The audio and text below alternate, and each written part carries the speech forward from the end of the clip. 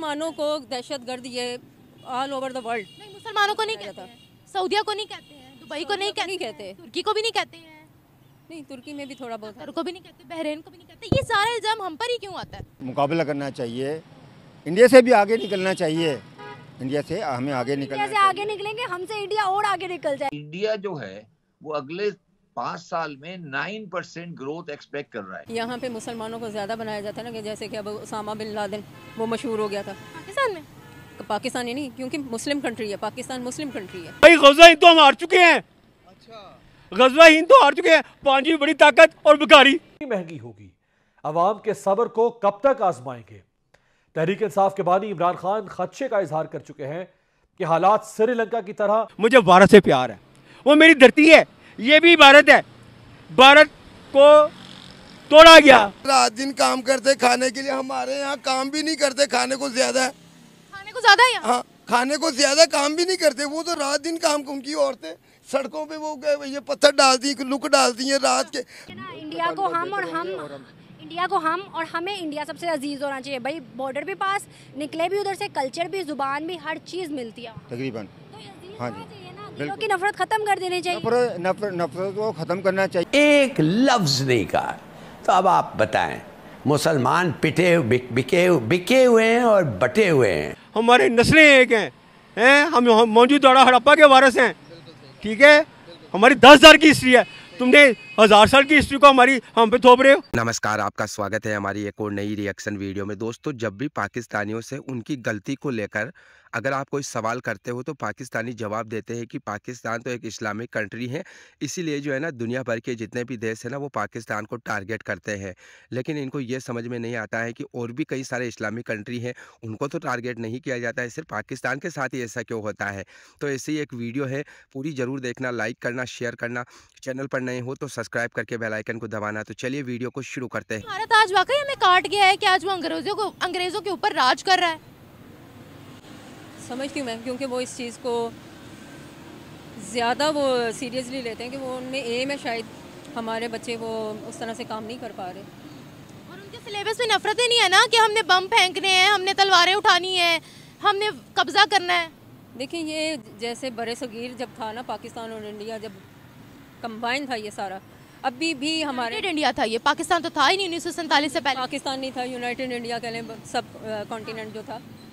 उसमें ये था कि वो चीज़ें पाकिस्तानियों में भी हैं लोगों में और इंडियंस में भी वो चीज़ है जो कि कुछ चीज़ें हैं मुश्तरका हैं। अब दहशत गर्दी अगर इधर भी है उधर भी है वो भी नंबर वन पे है। इंडिया भी दहशत गर्दी को लोग दहशत गर्द तो नहीं कहते वहाँ पर आप बता दें कौन सी दहशत गर्दी हो रही है। यहाँ पे मुसलमानों को ज़्यादा बनाया जाता है ना कि जैसे कि अब उसामा बिन लादेन वो मशहूर हो गया था। पाकिस्तान में? पाकिस्तानी नहीं क्योंकि मुस्लिम कंट्री है पाकिस्तान मुस्लिम कंट्री है। India Hindu indie Hinduism India is not a Hindu country India is a secular country लेकिन ये चीज़ है ना कि यहाँ पे हमारे इस वक्त अलमिया ये बना हुआ है कि फ़लस्तीन में मुसलमान हैं जो कि शहीद हो रहे हैं। मुसलमानों को दहशत गर्द ये ऑल ओवर द वर्ल्ड नहीं मुसलमानों को नहीं कहता हैं। सऊदिया को नहीं कहते हैं दुबई को नहीं कहते तुर्की को भी नहीं कहते हैं। नहीं तुर्की में भी थोड़ा बहुत को भी नहीं कहते बहरीन को भी नहीं कहते ये सारा इल्ज़ाम हम पर ही क्यों आता है? अनोखे मुसलमान है हम कोई। मैं तो कहती हूँ अभी हमारे में वो अल्लाह माफ़ी दे बस वैसी मुसलमानों वाली बात भी नहीं है। अपनी हरकतें हमें भी तो दुरुस्त करने की ज़रूरत है ना? सारे मुसलमानों का नाम तो ख़राब नहीं है सऊदिया की बहुत शान है। बहुत शान है इसमें नो डाउट बहुत शान है पाकिस्तानियों का जब नाम आता तो हमसे लोग थर थर कांपते हैं क्यों? यही वजह ये तो सोचने वाली बात है। इन चीज़ों पे हमें भी गौर करने की ज़रूरत है। हाँ जी पाँचों उंगलियाँ जैसे बराबर नहीं होती कि अगर आप एक एक बंदा सही हो तो वो बाकी लोगों को सही नहीं कर सकता। आप उसामा बिन लादन की बात करी थी? उसामा बिन लादन तो मैंने वैसे बताया ना कि उसको भी कितना टेररिज्म में उसका नाम बनाया गया था। यूएस ने डिक्लेयर भी किया उसको कि वो टेररिस्ट है। बिल्कुल ऐसे ही। ये तो एक छोटी सी वैसे मिसाल दी है कि वो मुसलमानों के हवाले से मेरे जहन में आ गया था कि जो भी कोई काम होता है तो वो मुसलमानों के ऊपर दहशत गर्दी का ज़्यादा आता है। अब बाहर के मुल्कों में पाकिस्तान की रिप्यूट अच्छी नहीं है। बिल्कुल भी नहीं अच्छी और बल्कि मेरा आ, मेरा जो कहने का भाई है देवर है मेरा वो ऑस्ट्रेलिया में है। वो कहता कि पाकिस्तानियों की ऐसी ऐसी हरकतें या ऐसी कुछ वाकई इनकी नेचुरल इनके अंदर कुछ ऐसी चीज़ें। अब सऊदीया में हज उम्र के लिए जो लोग जाते हैं पिछले दिनों कितना ये मीडिया पे भी दिखाया गया था खबरों में भी बताया गया था कि वहाँ पर जाके मांग रहे हैं पाकिस्तानी। पकड़े थे उन्होंने? पकड़े थे उन्होंने। उम्र के नाम पर टिकटें वीज़े लिए हुए थे और गए हुए थे और कितने पकड़े। और यही चीज़ अगर वहाँ पे चीज़ बांटी जाती है ना तो जितना पाकिस्तानी खवातीन उधर जाके वो उसका करती हैं ना हशर नशर उस बंदे का। तो ये चीज़ें हैं कि इसमें बहुत सारी ये चीज़ें आगे जाती हैं कि जी हमारे में तालीम की कमी भी है। है कि हमारा हमारी हमारे पानी एक हैं हमारी हवाएँ एक हैं फ़सलें एक है ज़मीन एक है। ये सब कॉन्टिनेंट आता है बड़े सग़ीर ठीक है? तो मेरी दरख्वास्त है जो इंडिया के कुछ दोस्त हैं, हमें नहीं चाहिए पाकिस्तान दोस्ती। उससे है उनमें। एक, मैं समझता हूँ कि मोदी का एक चीज़ा फाशिज़म वाला भी है। बड़े, मैं उनके एहतराम करता हूँ उनकी डेमोक्रेसी का। वो दे आर डेमोक्रेसी और जो कांग्रेस ने बनर्ड किया, उसका आउटपुट है। ये जो आज मोदी साहब आए हैं। मैं मैं दिल से हीरो समझता हूँ। अपने, जो आए थे पाकिस्तान में नवाशे के साथ में क्या नाम उनका? नरेंद्र मोदी मोदी से नहीं मोदी से पहले जो आए थे। मोदी से पहले आ, जो लाहौर ही आए थे। जी जी आए थे आए थे आए थे। मुझे नाम मुझे भी नहीं याद आ रहा। यार वो मैं उनका अपना हीरो मानता हूँ गांधी के बाद ठीक है? कि उस शख्स ने हिम्मत की। उसने कहा कि नहीं हम हम जो हैं मानते हैं पाकिस्तान को। और मैं नवाशी को भी इसलिए हीरो मानता हूँ अपना कि उसने कहा कि हाँ और ये उसने उसको मारे भी खाई हैं। मेरा ख्याल है अब वक्त आ गया है कि जो स्टैब्लिशमेंट के कुछ हिस्से जो बेहया नहीं है, वो मान रहे हैं कि यार, अब रास्ता यही है। तो आज हम जो बातें कर रहे हैं, मीडिया में बातें हो रही है, उसी की गमाजी है। मेरा ख्याल जो इस टाइम पाकिस्तान के हालात जा रहे हैं बेटा, ये आगे चल के हो सकता है इससे ज़्यादा हालात ख़राब हो जाए, बदतर हो जाए, ज़्यादा ख़राब हो जाए। जो कंडीशन जा रही है, क्या एक हज़ार रुपया मजदूरी है? एक जो मैनुअल लेके खड़ा होता है, होटल के बाहर, वो एक हज़ार रुपया कमाता है बेटा। हो सकता है वक़ा ये आ जाए आपके हाथ से मैगजीन को ले जाए यार मैं इसको बेच के अपने बच्चों की रोटी कमा लूँ। ये हालात जा रहे हैं। हुआ भी मेरे साथ। ऐसा हुआ है ना? तो फिर बस बेटा बात सच्ची होगी ना।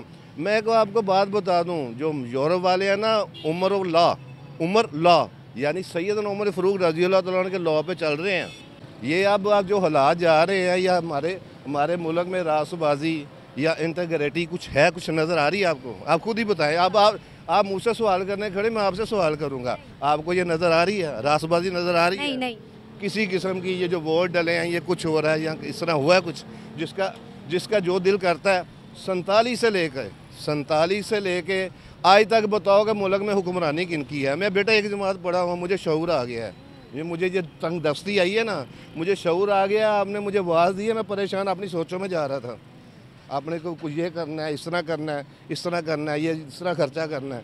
हर बंदा को नफसियाती मरीज़ बना दिया इससे बेहतर तो बेटा कोरोना था। इससे बेहतर तो कोरोना के हालात थे। कोरोना में हर बंदा रोज़ी कमा के घर जाता था। किसी को सुना किसी से कोई भूखा मर गया या कुछ हो गया कोई मामला हो गया। जिस तरह से हालात पाकिस्तान के बन गए सैंतालीस के बाद आप कह रहे हैं तो सैंतालीस से पहले तो हालात बेहतर थे पाकिस्तान जैसे भी हालात बेहतर थे। जब से गुलामी कबूल की है तो फिर ये मामला हो गया। हिंदुस्तान में तो ऐसे रोना रो नहीं रहे लोग। बेटा, वो वो वो एक्शन लेते हैं। वो और बेटा जी, आप क्या बात करें? कि आपको क्या बताएँ?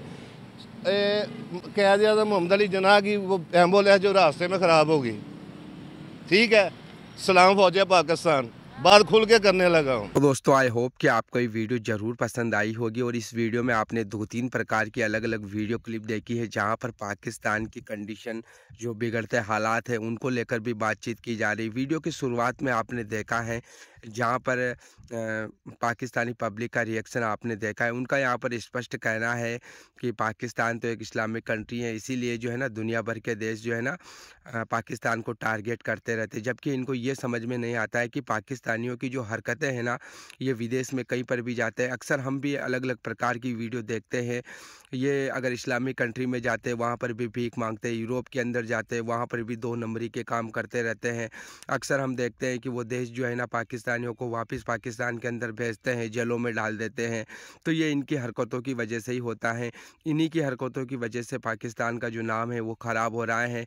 लेकिन ये इस चीज़ को मानते नहीं है, बल्कि ये सीधा सा कह देते हैं कि हम तो मुसलमान हैं, इसीलिए हमको टारगेट किया जा रहा है। जबकि ऐसा नहीं होता है, जबकि रिपोर्टर ने खुद इस वीडियो में यही बताया है कि और भी कई सारे इस्लामिक कंट्री है, यूएई है, सऊदी अरेबिया है, कुवैत है, बहरीन है, उनके साथ तो कभी ऐसा नहीं होता है। और जैसा कि वीडियो के एंड में आपने पाकिस्तान, पाकिस्तानी पब्लिक से ये भी सुना है, जिस पर बातचीत की जा रही है पाकिस्तान के हालात को लेकर, कि ये जो है ना, किस प्रकार के हालात पाकिस्तान के अंदर हो चुके हैं।